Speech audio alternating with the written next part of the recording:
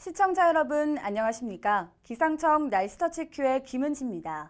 어버이날인 오늘은 전국에 가끔 구름 많은 가운데 동쪽 지역을 중심으로는 약한 비가 내리는 곳이 있었습니다.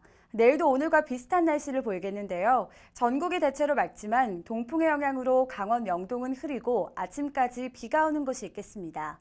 자세한 내일 날씨 모식도와 일기도를 통해 알아보겠습니다.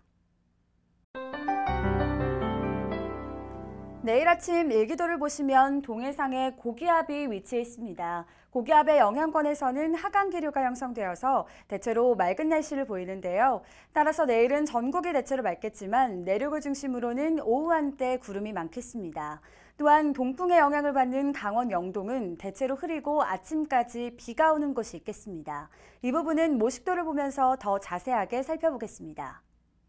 이어서 내일 낮의 날씨를 나타낸 모습도 보시겠습니다. 우리나라 주변 기압계를 크게 보면 남쪽에는 저기압, 북쪽에는 고기압이 위치해 있습니다. 고기압은 시계 방향으로 회전하면서 주변 공기를 움직이고 저기압은 반시계 방향으로 회전하면서 주변 공기를 움직이는데요. 따라서 오늘과 마찬가지로 내일도 조금 체계적인 북동풍이 유입되겠습니다.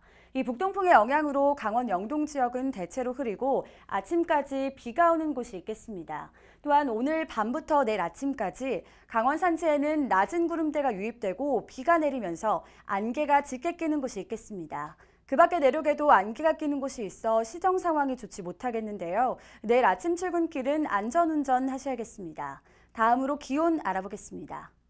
오늘과 내일 기온을 비교한 분포도인데요. 당분간 기온은 평년과 비슷하겠지만 내일 오전에는 기온이 오늘보다 내려가겠습니다. 전국 대부분의 아침 기온이 15도를 넘지 못하겠는데요. 이와 함께 내일까지 동풍의 영향을 받는 동해안 지역의 낮 기온도 10도를 넘지 못하면서 평년보다 낮은 기온 보이겠습니다. 북동뿐만 아니라 대기 상층에도 찬 공기가 머물러 있습니다. 이 찬 공기가 내려오면서 공기가 뒤섞이게 되는데요. 이때 바람이 더 부는 것으로 느껴지기 때문에 체감 온도는 더 쌀쌀하겠습니다. 내륙 지역 역시 큰 일교차가 예상되기 때문에 감기 걸리지 않도록 건강 관리에 유의하셔야겠습니다. 모레까지 남해상과 제주도 전해상, 동해상을 중심으로 바람이 매우 강하게 불겠고 물결이 매우 높게 일겠습니다. 안개가 짙게 끼는 곳이 있겠으니 항해나 조업하는 선박은 각별히 주의하시기 바랍니다. 지금까지 기상청에서 날스터치큐였습니다.